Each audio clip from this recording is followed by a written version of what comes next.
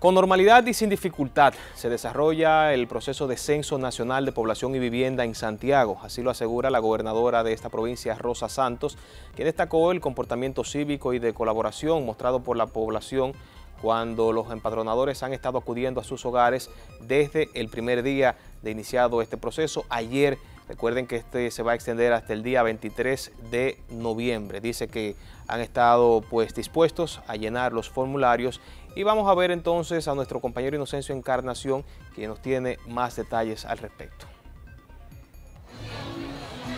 Saludos, ¿qué tal? Buenas tardes, Silvio y Manuel. Miren, con relación al censo, ya en su segundo día, el Censo Nacional de Vivienda que realiza el gobierno a través de la ONE, en esta ocasión vamos a hablar con la gobernadora con relación a cómo se ha estado desarrollando todo este proceso que busca saber cuántos somos en República Dominicana en ese sentido. Buenas tardes, gobernadora. Sí, saludos para cada uno de ustedes. Bueno, hemos estado haciendo en la mañana de hoy los levantamientos en los diferentes territorios. Ustedes saben que ayer fue un día donde se dio el banderazo de inicio y los equipos comenzaron a movilizarse, comenzaron a ambientarse, a ver cuál es el territorio en el cual ellos realmente iban a trabajar y hoy ya estamos en la calle.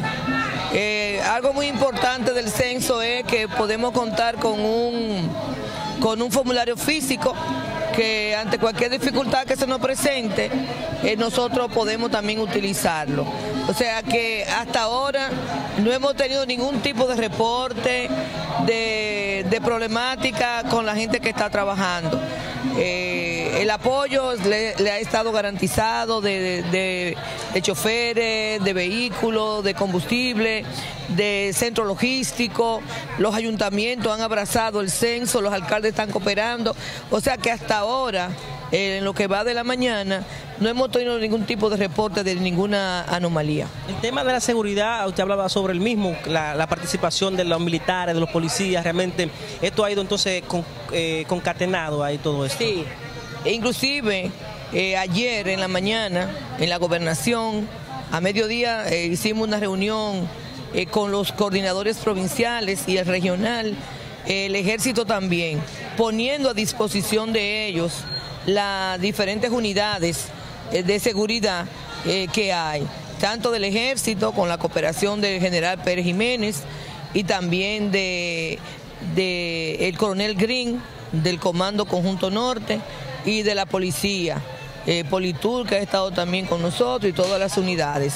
O sea que los empadronadores y supervisores nada más tienen que pedir, tienen que pedir. Nosotros hemos estado en capacidad de proporcionar todo lo que ellos necesiten para que esto se haga.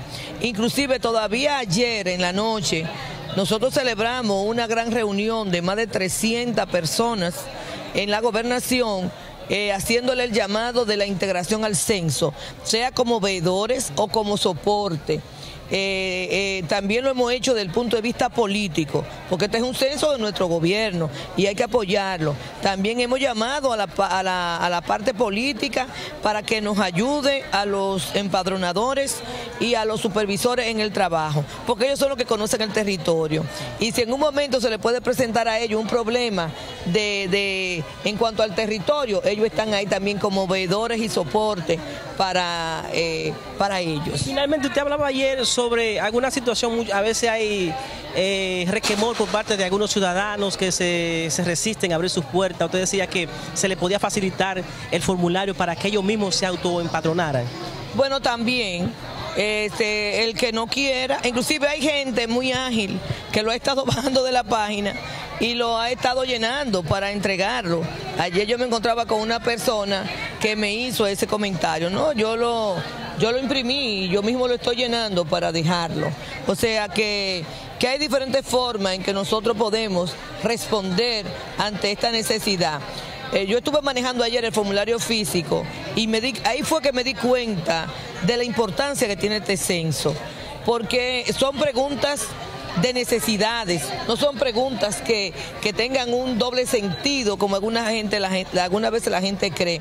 Para mí es importante saber dónde la gente tiene agua potable, para mí es importante saber dónde la gente tiene servicio de cloaca, que son cosas importantísimas, dónde la gente todavía está usando letrina Tú, oye, este censo te puede decir esto.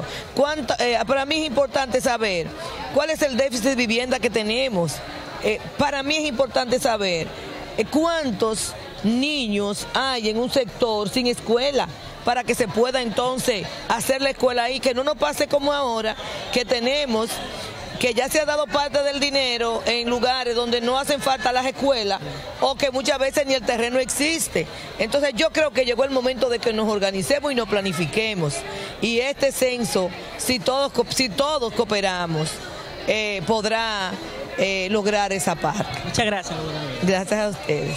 Bueno, es parte de la información, ahí está todo, ese censo se trae realizando desde el 10 hasta el 24 de este mes en curso. Así que retornamos con usted Luis allá a los estudios.